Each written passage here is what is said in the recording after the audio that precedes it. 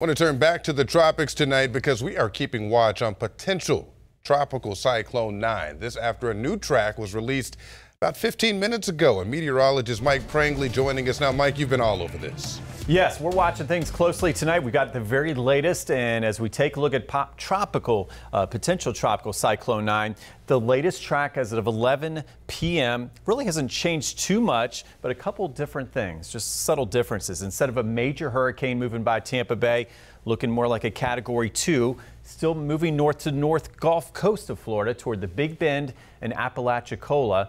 And if anything, as I look at the latest trends tonight, let's take a look at some of these spaghetti models. Okay, make some sense of this. So here's our storm, uh, likely not getting a name. It'll be Helene, it looks like by tomorrow, and then moves into the southern Gulf on Wednesday as a hurricane. So as we put the latest models into motion, one thing here that we do like here in Tampa Bay, we don't see a direct impact where this thing would take a right hook at this time. Right now, that chance of that happening is very, very small. So that's the first good tidbit.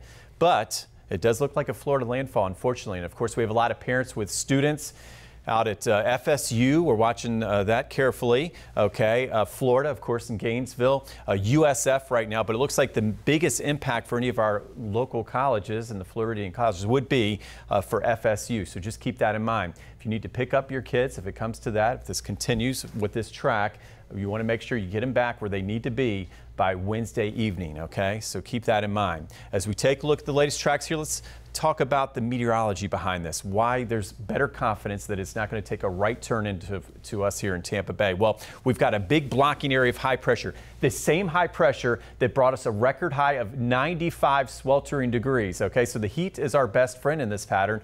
And as I was telling Frank, also watching areas toward Oklahoma, Arkansas, Missouri. So this big upper level low, it looks like this storm, this tropical cyclone, will take a little dance around that area of low pressure as it goes with the upper level winds. Again, that would keep it from taking that right hook as well. So we'll continue to watch that carefully as we take a look at the impacts. That's what our weather team's all about. We showed you the cone, but focus on the impacts where you see the yellow here and the orange.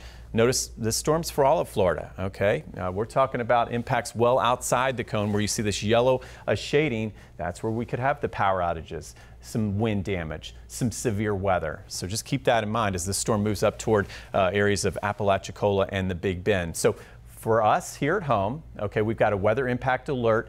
You need to know Wednesday night through Friday morning, okay? That's when we just stay put Stay with us, stay tuned. We'll keep you informed, prepared, and connected and calm. The impact, storm surge, and flooding. Those are the big two for us right now. I still think we will see a storm surge.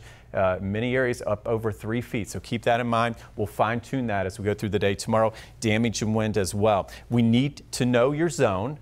Can't rule out any evacuations at this point, and stay tuned for those updates. So as we take a look at the very latest, when will the winds come? Let's look at the impacts. Okay, so the highest winds coming in Thursday afternoon, it looks like for most of us, okay? Here's that line, uh, just showing us 8 a.m. Thursday to the south, and then I'll move to the north during the day. Also, the storm surge. When's the worst of the surge? We'll see how the wind's going to start to really come on shore.